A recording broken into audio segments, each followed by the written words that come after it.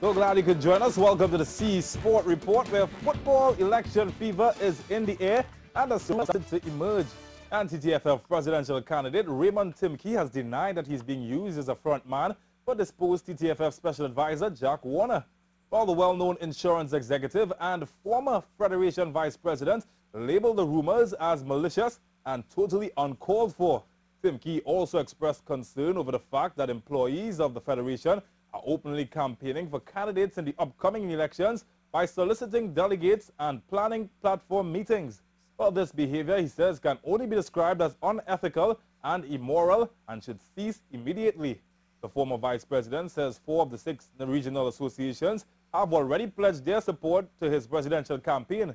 The TTFF election takes place on November 11th.